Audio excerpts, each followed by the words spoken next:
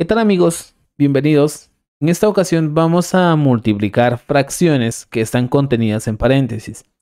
Siempre que multipliquemos fracciones entre paréntesis, multiplicamos de la manera tradicional, o sea, multiplicamos en línea recta los numeradores y los denominadores. El hecho de que estén en paréntesis no cambia en nada el procedimiento. 2 por 6 es igual a 12.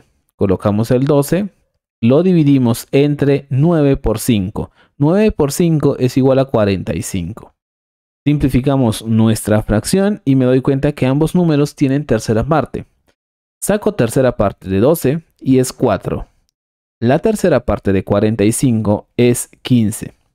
4 partido 15 es una fracción que ya no se puede seguir simplificando.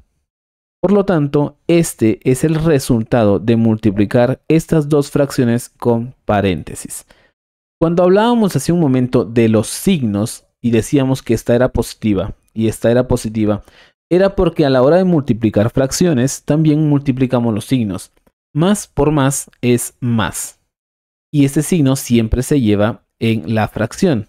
El problema es que si son positivas, esos signos no es necesario colocarlos.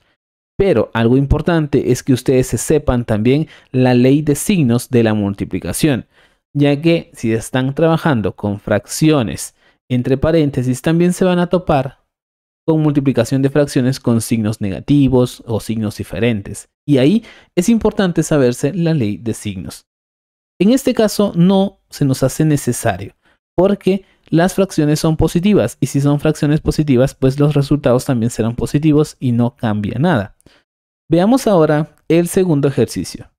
4 por 9. El hecho de que tengan paréntesis no cambia en nada el procedimiento. 4 por 9 es 36. Así que colocamos 36 partido 3 por 7. 3 por 7 es 21. 21.